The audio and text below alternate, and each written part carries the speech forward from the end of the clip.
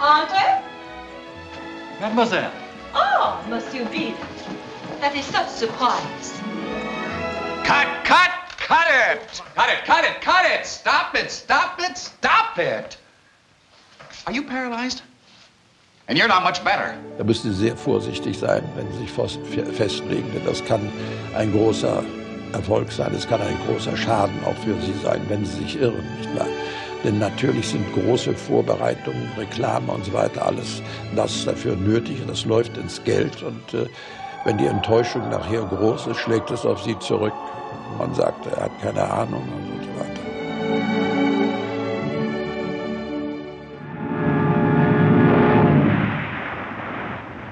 Ich bin immer unsicher, muss ich sagen. Ich bin selbst noch nach den Versicherungen der Zeitung meinetwegen, des Publikumsbeifalls, bin ich unsicher, ob ich das äh, getroffen habe, was ich eigentlich machen wollte. Ein Star ist, das möchte ich gleich hier einmal sagen, ist nie gemacht alleine durch sich selber. Ein Star ist gemacht durch sein Ambiente, das der Regisseur oder das Studium gibt. Takes. They insist. I listen. I am the fool. But now I have say no. No more. No more every day like this. This is finished. Through. I dance no more. Jamais. Never. Playback. Never. Action. Wenn Sie Clark Gable zusammensparen mit äh, Dorothy Malone und so weiter, sagen wir mal, um einen amerikanischen Star zu nennen, so ist das vielleicht ein schlechtes, äh, eine schlechte Paarung. Und einer wird auf den anderen negative Strahlen aussenden dann, nicht wahr? Auch mögen, müssen sie sich mögen. Oder meinetwegen sollen sie sich sehr stark hassen, nicht wahr? Look here, is it customary for Mr. Fleming's secretary to pass judgment for his boss?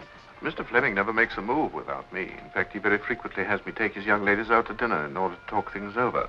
Thanks, I'll go hungry. Die Kamera hat mich eigentlich auch nie enttäuscht in meinem Leben.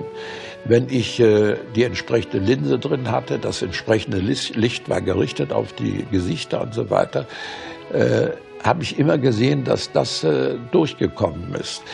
Äh, und nicht das Schauspielerische. Es ist ja so,